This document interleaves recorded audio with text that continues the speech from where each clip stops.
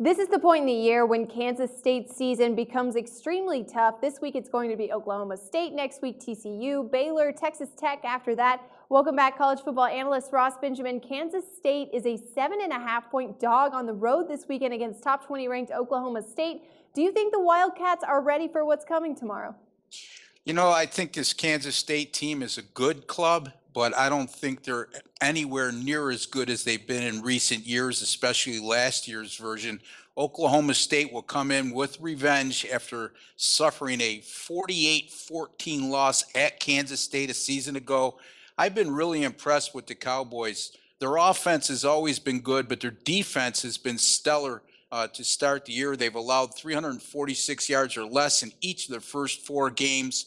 I'm going to lay the points here, Megan. I'm going to have a small lean on Oklahoma State minus the seven and a half over Kansas State. College football analyst Ross Benjamin, thanks again for joining us.